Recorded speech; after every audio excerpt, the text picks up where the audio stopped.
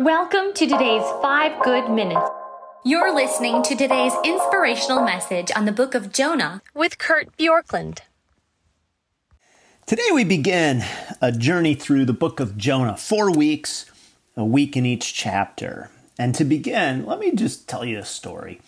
Few years ago, my family and I traveled out west to visit a couple of the iconic national parks. And one day, we decided to go on a fairly large and ambitious hike.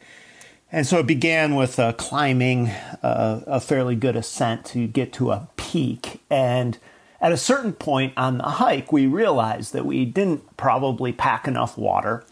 And so we were trying to conserve water, and we realized that the hike was longer and harder than we probably anticipated.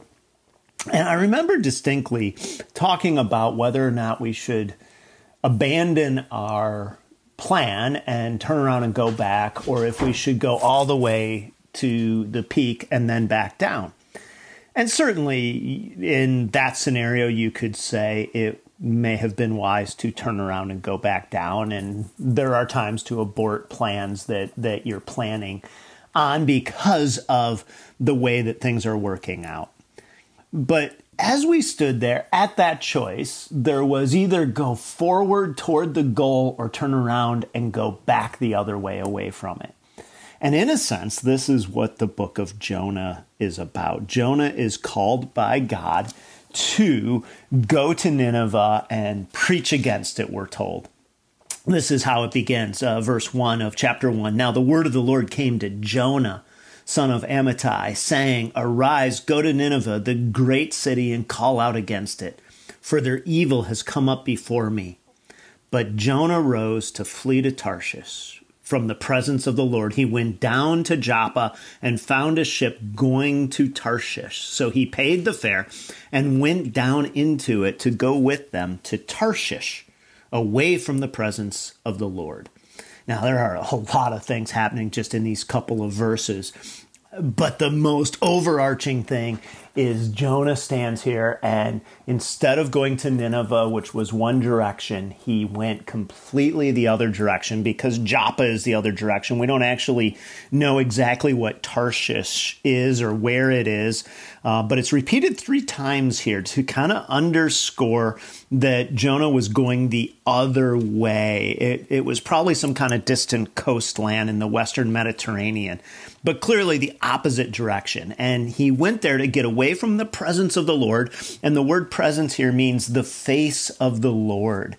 And this is a choice that that, that we get throughout life in so many little scenarios day after day after day. It's usually not this large one time decision like it was for Jonah. It's usually a hundred little choices over the course of a week or a month, a thousand choices over a year. Will I trust God and go his way or will I go my way? Will I reject the way that God wants me to go? And so that is the overarching choice. And notice what we see here the way that Jonah chose, uh, uh, the author says that he went down to Joppa. Now, that is something that we don't know for sure where he was coming from. So it may have been simply a geographical um, statement, and Joppa truly was at the coastline. So anywhere in the country, you'd go down to it. But I think it's also a little bit of a literary device here where he's saying, when you run from the presence of the Lord, it's always down. And then notice that it says, He paid the fare. Whenever we run from the presence of God, it's always down and we always pay the fare. And this is something I've seen over and over as a pastor.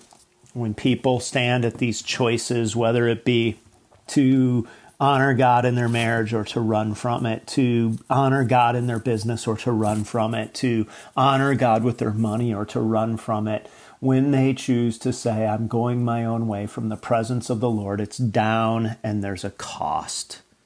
So we will see in these coming chapters, in chapter one, God deals with the self will of Jonah. In chapter 2, the self reliance. In chapter 3, the self interest. And in chapter 4, the self rationalization or justification. But today, my question for you is simply Are you choosing to go toward the revealed word and truth of God or to go your own way. Thanks for joining us here today. There's a lot of great content to explore on Orchard Hill Plus and on the Orchard Hill main feed from the weekend. Have a great day.